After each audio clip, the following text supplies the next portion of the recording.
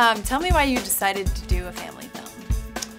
Uh, it decided for me. I couldn't not do this film. It's Yeah? Muppets. I, I mean, I'm a Muppet fan from the day age of five, and I watched the show every year for like six years. So it was a thing that was really much part of my childhood. So, Right. you know, I just come off doing Flight of the Conchords on HBO, which is a musical comedy. And then there's a thing I absolutely love, uh, uh, which was also a musical comedy. And so I couldn't not do this. So it chose me, really. Who is your favorite Muppet? I like. I I obviously I like the. I mean, I like Piggy and Gonzo and, and Kermit. But for me, the strength of the Muppet Show was the fact that the guys who weren't in it very often were also really funny. Mm-hmm. And there's one guy called Bobby Benson, who is the band leader of a band of babies. You might not know him. Anyway, but anyway, he is this weird character, sunglasses on, really seedy, and the, babies he manages are these really creepy babies. they're, you know, any other show would be this kind of like really sweet, cute babies, but Muppet Show, they're like chilling. They're terrifying, weird, like dangerous babies. They're amazing. That's my favorite character. Okay, that's an Obscure. odd one. I know, Yeah. I know, I know, I know.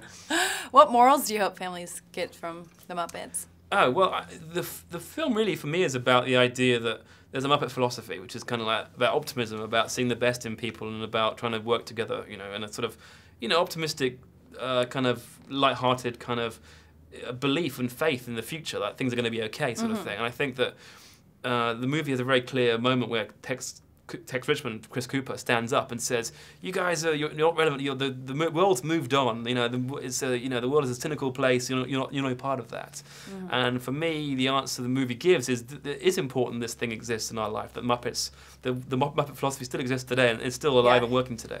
And that's the thing. People want hope, especially during the time right now. of course, of course we do. And I think that you know I've got kids and I want them to be as innocent as long as possible. Yeah. and that's part about having this hope and not having the world bash you down too Uh-huh. early. And the Muppets have optimism, which is a great thing. And I think we should all be more optimistic. Yeah, they're also like the clean Muppets, and Yeah, these 'cause- dirty Muppets are trying to get in the yeah, scene. well, the, the, the Moopets are basically making cash for the Muppet legacy. Yeah. So they're not they're not great guys, but they represent the kind of bad side to the world in terms of like obsession with well, wealth and status and things that aren't that important, you know.